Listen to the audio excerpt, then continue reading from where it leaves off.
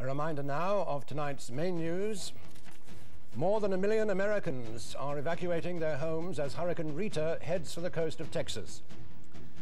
Charles Kennedy is hit back at his critics at the Liberal Democrats conference, accusing them of being full of themselves. And Kate Moss has issued an apology tonight following recent allegations about her drug use. She said she accepted there were various personal issues she needed to address. The headlines in London tonight. The parents of a teenager stabbed to death in Ilford appeal for changes to knife laws. The search is on for the right person to head the team staging the London Olympics, and there have been calls to bring Concorde out of retirement in honour of the 2012 Games.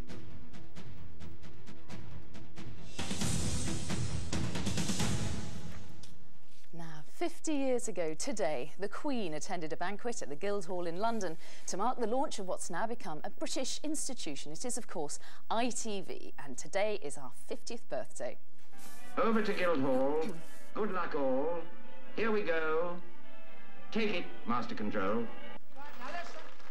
The channel went on air at quarter past seven and so followed five decades of bringing entertainment, news and documentaries to living rooms across the country.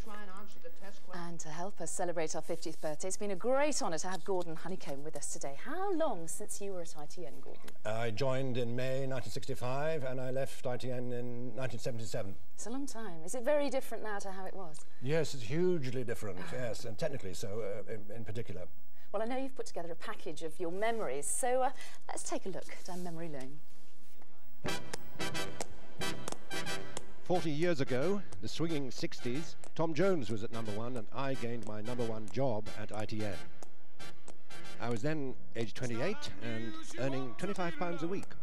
I was thrown in at the deep end reading the early evening news all that time ago and bizarrely similar circumstances as today. A hurricane with winds up to 160 miles an hour is heading for the Louisiana coast.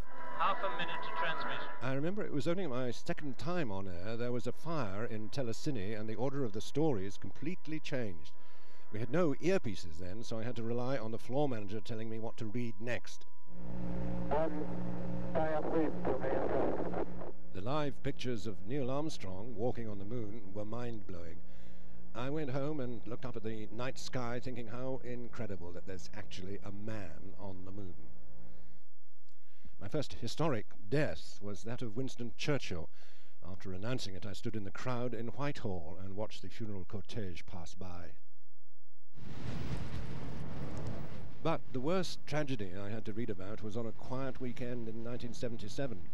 Some of us were in the green room when the Computator rushed in. Two jumbo jets had collided and crashed in Tenerife. Few details were then known, but by the time we did the early evening news, the full horror was revealed. 577 people died that day. It was, in a way, I suppose, a privilege to be among the first to know what was happening in the world and to be the first to tell people all about it. In our later bulletins later this evening. Amazing stories. Do you miss it? Yes, I miss the buzz, the excitement, the being one-to-one -one with the camera, yes, and the viewer. And you live in Australia now. What do you do? Uh, I do occasional voiceovers, and I have performed and in films, apart from other things, and uh, do very poor imitations of Prince Charles and David Attenborough. and have you enjoyed your trip down memory lane to ITN again? Yes, very much. I'm just wondering when we can do it again. oh, thank you very much. It's been a great honour to meet you. It was a great pleasure. That is it from us here. See you later. Uh, Gordon's over on the news channel in just a few minutes to answer your calls and any emails you might have, so uh, don't go away. Bye-bye.